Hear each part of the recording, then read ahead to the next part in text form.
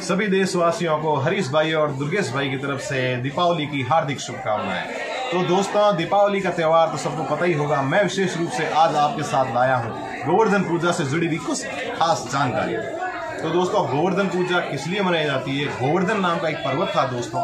भगवान श्री कृष्ण ने इंद्र के अहंकार को कम करने के लिए अपनी उंगली पर गोवर्धन पर्वत को उठा लिया था दोस्तों, क्योंकि इंद्र भगवान ने बहुत सारी बरसात कर दी थी और गाँव वालों को, विशेष रूप से वृद्धवासियों को तहस नहस करने की कोशिश की। तो इसी अहंकार को कम करने के लिए गोवर्धन पूजा की जाती है दोस्तों। तो गोवर्धन पर्वत को पूजा जाता है और इसी पवित्र चीज़ के लिए हिंदू धर्म में सबसे पवित्र गाय को माना जाता है और माता के गोबर से ही उस पर्वत को आकार दिया जाता है और इसी प्रकार गोवर्धन पर्वत की पूजा की जाती है। तो दोस्तों, आज है गोवर्धन पूजा और जुड़े रहे हैं ऐसी कुछ जानकारियों के साथ में, अच्छी बातों के साथ में, टूर ऑफ़ इंडिया के साथ में। हमारा काम आपको पसंद आए तो कमेंट बॉक्स में ज़रूर बताइएगा, क्योंकि दुर्गेश भाई और हरीश भाई आपके कमेंटों का हमेशा इंतज़ार करते रहते हैं। जय हिंद, जय भारत हैप्पी